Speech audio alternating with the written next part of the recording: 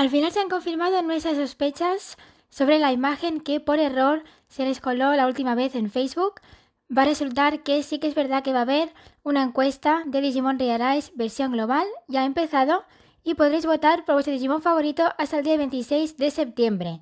Y el ganador se repartirá a todos los jugadores como una recompensa más, independientemente de que seáis preregistrado o no, como siempre. Eso es muy importante, así que no os preocupéis si no os podéis preregistrar, porque vais a recibir todas las recompensas de igual forma.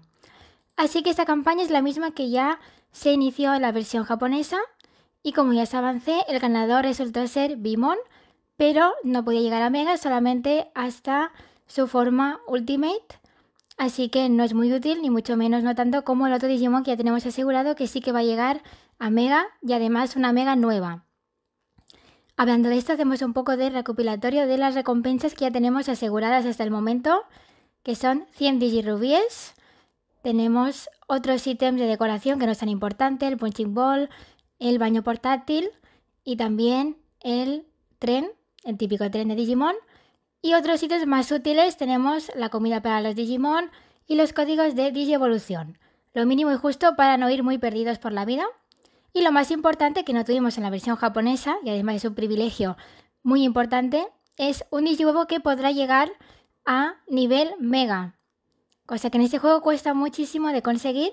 Y además no solamente eso, sino que va a ser una Mega nueva de Pumpkinmon, que sale en la historia.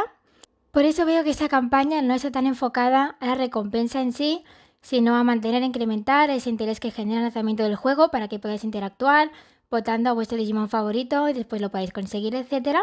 Si queréis hacerlo, solo tenéis comentar el nombre de vuestro Digimon favorito en el post de esta campaña, de donde aparece esta imagen.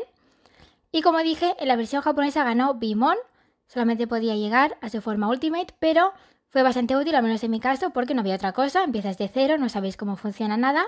Y sí que es verdad que tienes una tirada gratuita del gacha, un gacha de inicio bastante sencillito, que la versión global podrá ser distinto, ya que no empezamos de cero, sino que tenemos toda la historia de la versión japonesa.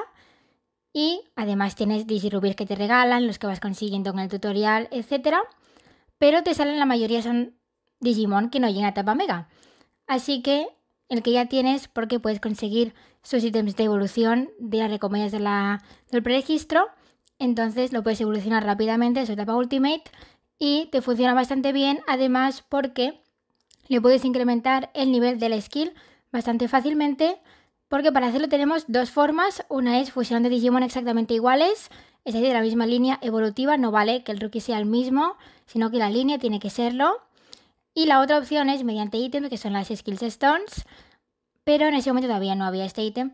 Así que la primera opción es la más útil en este caso porque Digimon que no lleguen a etapa mega son los más comunes, así que te van a salir hasta de debajo de las piedras y podrás fusionar bastante. Así que enseguida lo llevé a nivel 5 de skill, que no era mucho, pero bastante útil para ir empezando haciendo las, las quests de la historia principal, etcétera y si lo ubicas como compañero, que va a ser el que va a dar el skill, es especial, que se incrementa muchísimo el daño cuando te da el skill.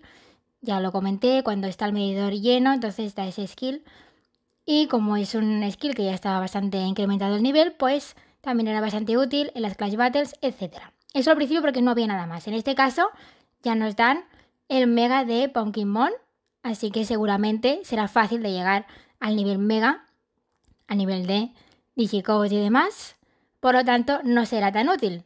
Será más que nada algo pues como para tener de colección o quién sabe, a lo mejor más adelante nos dirán que sí que puede llegar a la etapa mega, pero yo creo que esta campaña va a ser la misma que la versión japonesa y como no han comentado nada más, será que no puede llegar a etapa mega, es solamente la nostalgia de elegir al Digimon que a ti te guste. Y voy a dejar aquí el vídeo, así que para más información sobre el juego podéis encontrarlo en la lista de reproducción de mi canal, donde tengo tutoriales, evoluciones, etc. Y además os lo dejo bien clasificado en la descripción. Y os veo muy pronto en el próximo vídeo.